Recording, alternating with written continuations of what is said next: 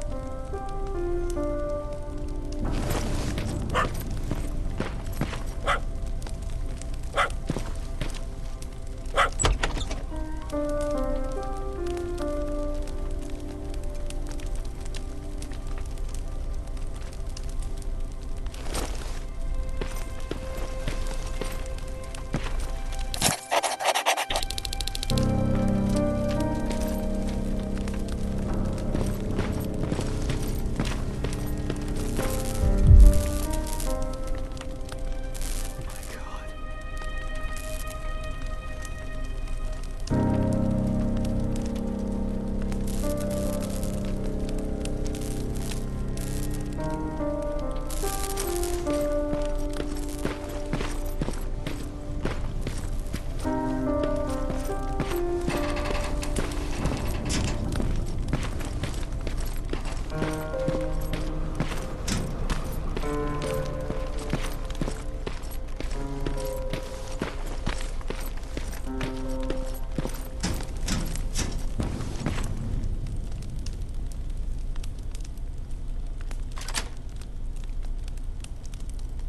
Commander!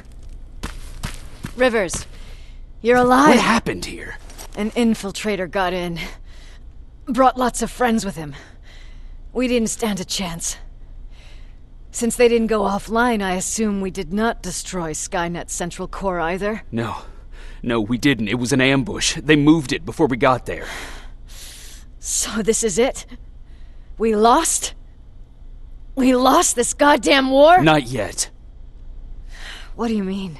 I got the Central Core's real coordinates. You have? I've gotta learn not to doubt you anymore, Rivers. We need to call Connor. He may still be able to stop Skynet. Forget it. I couldn't get him on the radio for hours. You need to find him. You need to give him those coordinates. First, let's get you out of here. No. You don't have time for this.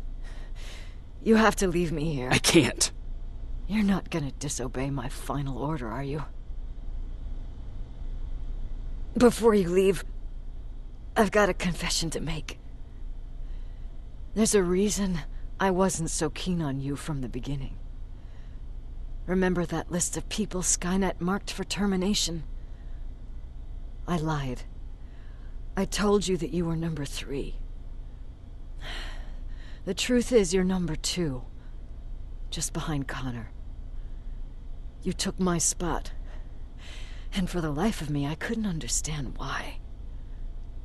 But now I know. They're coming. You need to leave, now. Use a vent in the command room to sneak past them. And then find Connor and give him those coordinates. Don't worry about me. If they come here, I'll just reason with them. I still have a couple magazines full of arguments. Now go! Good luck, Jacob.